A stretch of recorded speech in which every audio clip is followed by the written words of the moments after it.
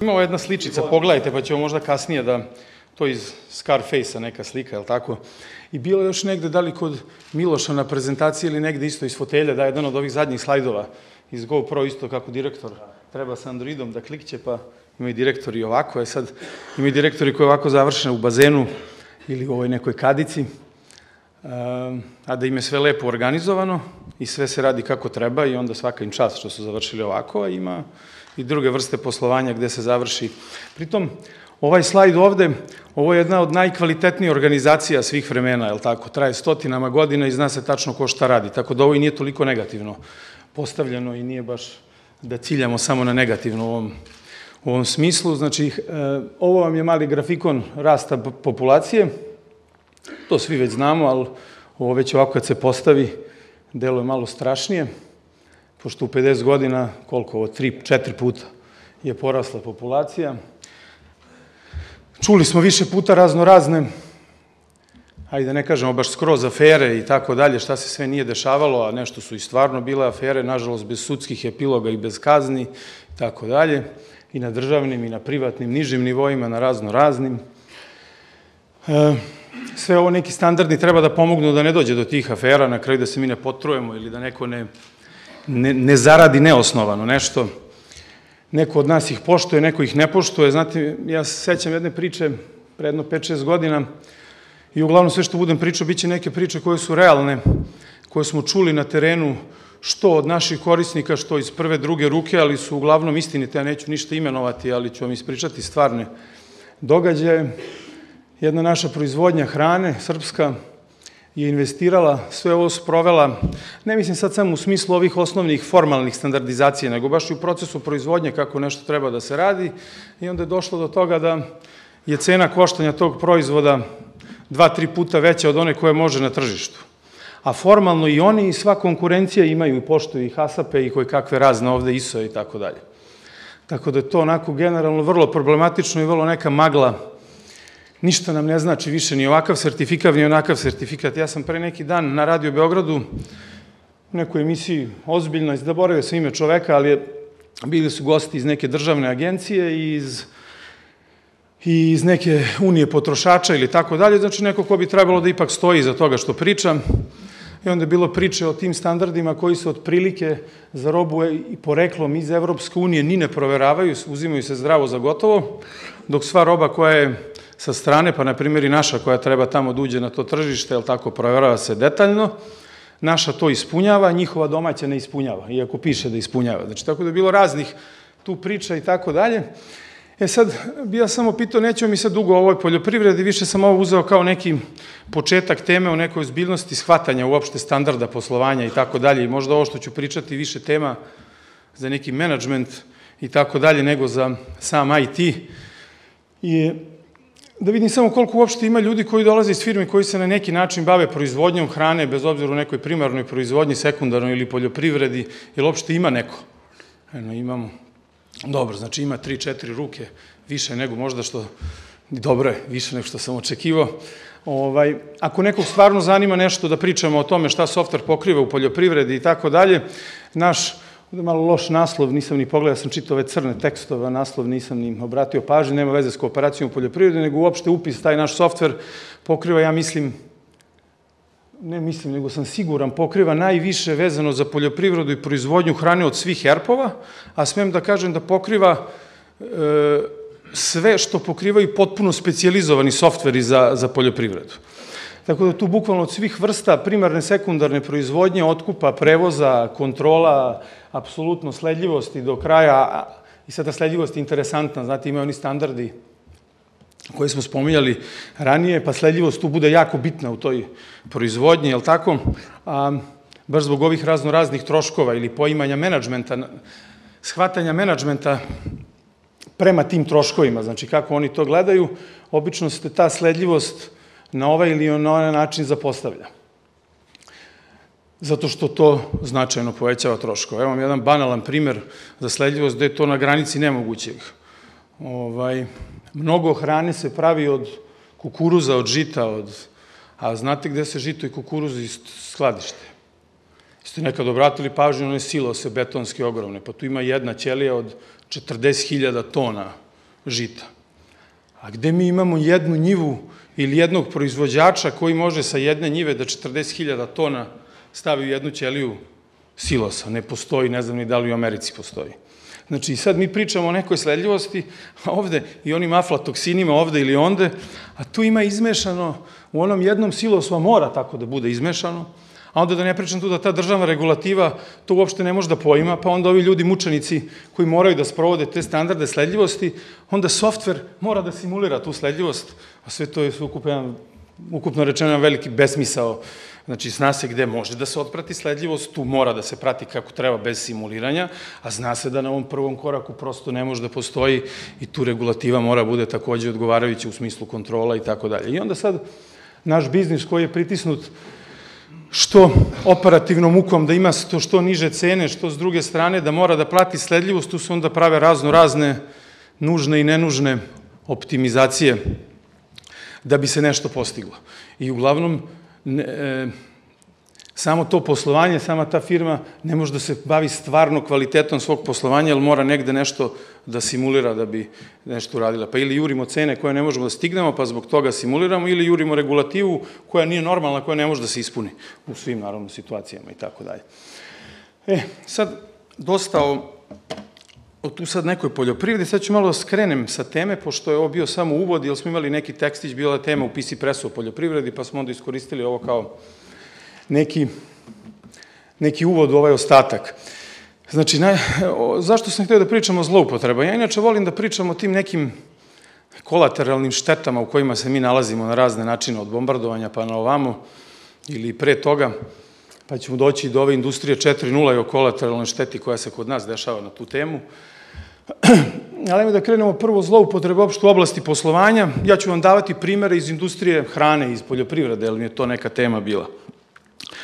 Ne znam jel se sećate, nije to baš tako davno bilo, kad smo mi tobož uplovili u neke slobodne vode, jel tako, pre jedno 20 godina, sad ćemo mi tu svašta da možemo i ovamo nam i stvarno dobišmo mi neka prava da možemo sav šećer koji proizvedemo da izvezemo u Evropsku uniju, onda nam se desi da posle prve sezone izvoza nam se to za narednih 10 godina skrati tako da mi skoro zavrnemo proizvodnju šećerne repe u zemlji Srbiji, jer ne možemo više da izvezemo.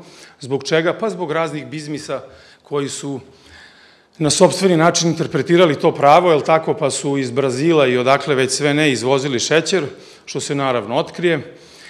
E sad, nije problem ni da to pojedinci i pojedini bizmisi ti pokušaju da urade, problem je što se kod nas posle toga ništa ne desi, jel tako, pa ti bizmisi nastavljaju da rastu, pa budu i monopolisti i tako dalje, i nema apsolutno nikakve sankcije ni za šta. Dalje, nekoliko godina posle toga, a možda se to već i ranije desilo, ne, po regulativi, jel tako, Rusija dozvoljava da im izvezemo sve, ali da poštujemo bar nešto. I to svi znaju šta treba da se poštuje. Pa onda, jel tako, ovo što je interesantna priča, neke to sam čuo iz druge ruke, ali to ste verovatno svi već čuli, ovaj, mi izvezemo meso, jel tako, opet iz te Južne Amerike, I sad, kako se to otkrije? Pa otkrije se tako što oni pečati, znate što postoji u mesari, stoji pečat iz Buenos Airesa na to meso koji smo izvezli u Rusiju.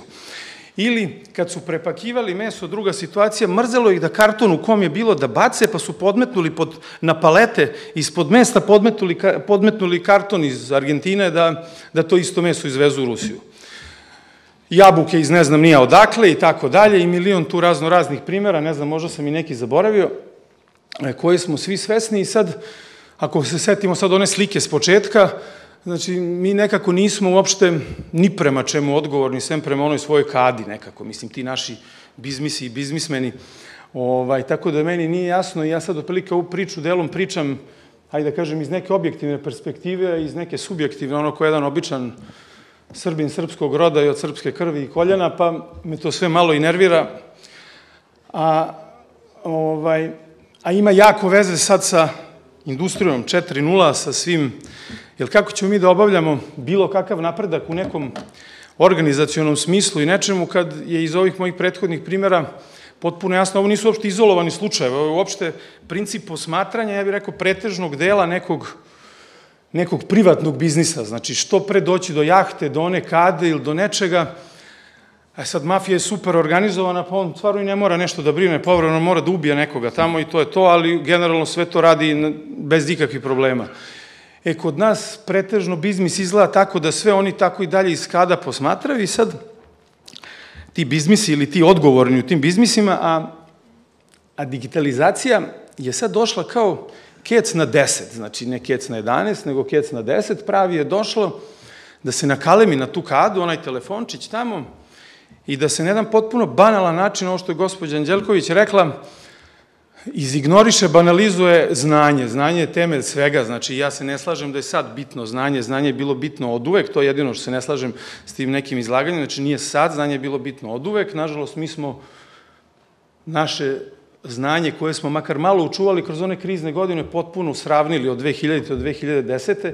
I sad mi nije ni jasno na čemu ćemo mi da ga gradimo i da gradimo taj IT kadar kad smo temelja i naučne i razno razne uništili, no, no, to sam samo se malo skrenuo na to gde mislim da je znanje svakako jedan od najbitnijih faktora i sada da se vratimo na tu digitalizaciju, da kažem zašto je došlo kao kjec na 10 ta digitalizacija. Znači, ona je prvo jedna fenomenalan marketinški talas, za tu novu industrijsku revoluciju. Te industrijske revolucije se dešavaju uglavnom zato što je potrebna nova akumulacija kapitala trenutno ekonomiji zbog razno raznih kriza u koji ulazi, tako da nije tu baš ni sve objektivno, ona je verovatno delom i marketinški servirana iz centara koji to imaju snage da serviraju, je li tako? Ili prosto digitalizacija se dešava od kad je gospodin Modli počeo nekad svoje emisije, tako dalje, i ona konstantno ide i meni je smešna ta priča sad uopšte o digitalizaciji, terminu kao nekom novom, pa šta mi ovde svi radimo već 30 godina se samo digitalizujemo i to je prirodan trend i to treba da ide.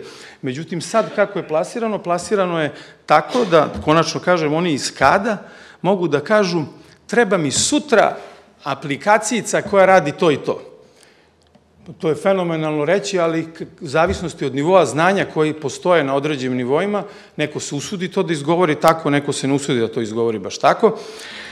E, I sad to pravi veliki problem nama kao, kao nekom ko podržava poslovanja, je tako, uopšte firme, e, gde mi sad umesto kroz taj efekt digitalizacije koji definitivno kao glavnu, glavnu struju, kao nosilo od svega treba da donese, je tako, unapređenje procesa, na kraju apsolutno unapređenje zaradi onima koji, koji to kvalitetno sprovode, jel tako? Sve to sa povećanjem znanja, jer nažalost bez povećanja znanja to ne ide. I onda kad idemo bez korišćenja znanja ili bez povećanja znanja u taj proces, onda, onda smo u onoj kolateralnoj šteti digitalizacije. I onda često dobijamo, znači, da preko tog marketinški super serviranog termina Znači, u stvari, mi ne znamo zbog čega mi to radimo. Neko nam je rekao digitalizacija, pa mi sad dajmo da se digitalizujemo. Pa znate šta sam ja sad tu nešto primetio? Sad imamo nasilne zamene web shopova po svaku cenu u kratkom roku. I onda pitamo mi to, pa dobro rekao, što sad to žurite? Imate već web shop koji radi tako i tako. Nema nikakvih problema da zamenite. Zašto mora za mesec dana? Pa znate, to je sad, i onda se tu negde uvek provuče termin digitalizacija. Još znači, minut. tačno, koliko? Minut. Dobro. Ovaj, provuče se uvek termin digitalizacije i onda se vidi da to u stvari zahtev nije došao kao jasna posledica potrebe i, i, i analize analize ovaj, nedostataka nekih potreba za unapređenjem, nego, eto tako, treba sad neko to da uradi. I sad, šta, još, šta, šta smo još primetili? Znači, vrlo često se raznim tim dodacima aplikacija u stvari prikrivaju loše implementacije nekog osnovnog softvera. Pa se onda sad super to podvodi pod, pod formu digitalizacije. Sad ćemo mi da implementiramo još jednu dodatnu aplikaciju na Androidu, na ovo, na ovome, to će da izgleda šareno, to onaj tamo iz kade, kad to vidi, to je super i nema veze što iza još osam ljudi radi tu nešto, a pritom ne znam ni šta smo uradili, ili smo uzeli uslugu od od firme koja, pre, isto pre koji mesec pričamo i sad nešto smo imali neki konferencijski razgovor i, i pričamo o firmi koja izvodi tu poduslugu dalje, jel tako, i spominjamo, ja nešto pitam, pa dobro, kako vi uzimate stanje neke robe? A kolega s druge strane kaže, pa ne, mi ne uzimamo stanje robe, mi uzimamo količine. I ja ne znam, ja sam tu sad samo začuto, znači ja ne znam kako to dalje da odgovorim i s kojim nivoima mi tu pričamo Ovaj, da, I onda u produžetku kaže, a ne, stanje, to vam je ono kad piše plus minus. Ima na stanju, nema na stanju. To je bio završetak te rečenice. Ja posle te rečenice ne znam više šta da pričam. Pritom je to firma koja ozbiljno pruža usluge za ozbiljne pare i tako dalje. E, e, znači, nažalost, prikrivanje loših implementacija, čuvanje ličnih pozicija sa prividnim unapređenjem procesa I šta je posledica? Naravno, postepen apsolutni nestanak znanja i ovo što je kolega iz Crne Gore, gospodina Bazovića, ako sam dobro zapamtio, rekao, ne treba država da se bavi tim ovim ili onim, treba da uzima uslugu, pa ako, i sad je to u redu, ali od koga da uzimam usluge? Ko zna, znači usluge nisu alat, usluge su znanje. Tako da, i sad, ako država ispusti to fundamentalno znanje i prepusti ga ovakvim firmama koje pružaju usluge razno raznim, ovaj, na šta će onda i država da nam liči i bilo šta. I sad, pošto znam da ima pauze, da sam ja završio, želim samo da kažem na šta to liči, još ću malo da produžim, pa neće da bude strašno, Vesna mi je klimnula da smem. Znači, ovo sam ja izvukao samo sa prethodnih godina nekih bizit prezentacija, izvukao sam neke slajdove koji su kritični. Znači, krpljanjem postojećih aplikacija dobijamo ovu levu sliku. Ispravnom integracijom dobijamo desnu sliku. E, levo krpljenje je ono brzinsko i bez znanja, desno je sa znanjem i jasnim ciljem. I treba širiti, apsolutno treba digitalizovati, pa šta i ti radi, nego to radi od kad smo rođeni. Znači, samo mora sa znanjem i sa ciljem, da ne bi bilo ovo levo, ovo levo, generiše, nažalost, ovde jedan veliki problem. Znači, ovamo smo mi u ovom desnom kraju slajda i ovo smo pre dve, tri godine sam pričao, morao sam ovde da ponovim. I ovo je neki improvizovan slajd, ali koji govori o sledećem. Zbog silnih onih tačkica na prethodnom slajdu, mi imamo mnogo aplikacija koje pojedinačno svašta završavaju, u suštini dezintegrišu informacije. To jest, nisu, imamo ostrava pojedinačnih znanja koje je pitanje kad se spoje šta daju. U industriji 4.0 i digitalizaciji ova crvena linija je rast, za infor, rast potreba za informacijom, sve složenijim upravljanjem, bilo čim baratanjem.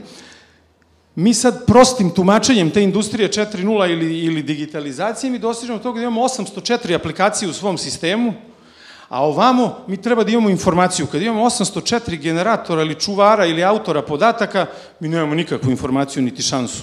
Tako da mi sad i dalje smo na ovom trendu da bežimo ovde, a moramo ovo da stižemo. Ne pričam sad o Srbiji, pričam uopšte o ovom trendu koji nema veze. Srbija tu nije specifično, to je apsolutno prisutno na zapadu, nažalost ovo prisutno još ranije. I tu će u jednom momentu ovo će da se toliko raziđe da će morat neka revolucija 5.0 bude koja će sve da sruši u ovom bar informatičkom smislu i pogledu na da ovo sve skupi.